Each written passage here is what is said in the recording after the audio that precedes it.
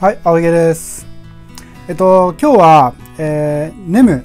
イーサリアム、えー、IOST の、えー、3通貨の、えー、チャート分析をしていきたいと思います。えー、まず最初に NEM の、えー、チャートから見ていきたいと思います。えー、NEM を4時間足で見ると、えー、ディセトラを上抜けしましたね。で、冷やしで直近の高値、安値を確認すると、えー、安値が17、高値33。で、レンジを見ると、えー、おとといのローソク足の中に、えー、昨日と、えー、今日のローソク足を包んでますね。で、おとといのローソク足をブレイクしたら、またあの上昇の勢いが強くなって、えー、上昇トレンドラインを、えー、割る可能性も低くなってくると見てます。で RSI を見ると、えー、50程度で、えー、伸びしろを作ってから、まあ、上昇するんじゃないないでしょうか。えー、MacD も、えー、ゴールデンクロスを起こしそうにしているので。えー、次、IOST。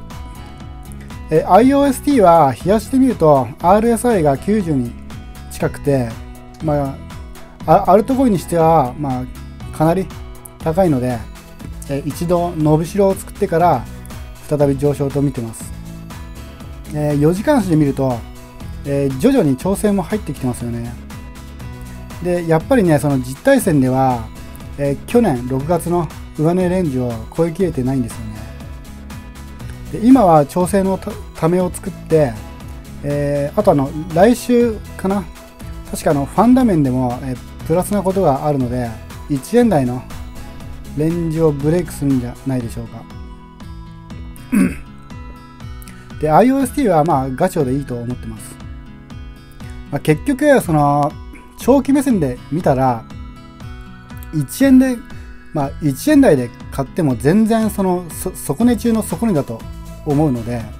うん、ただね、もうあの、小数点で買えた人は、あのもう、それはもう運です。え次、イーサリアム。イーサリアムを4時間足で見ると、え三角持ち合いを上抜けしましたね。4時間足の MacD 見ると、再びゴールデンクロスを起こしそうなんですけど、で、冷やしで見ると RSI が90。アルトコインにしては高すぎるので、えー、IOST みたいに一度調整で1100ドル付近まで戻って、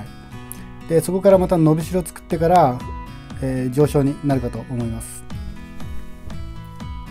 えー、今回の動画をまとめると、えー、アルトコインは、まあ、あの上昇の、えー、調整で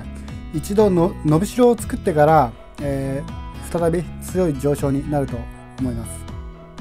えー、ネムに関しては、えー、スナップショット延期の影響もあるのに、えー、ほぼ下落してないので、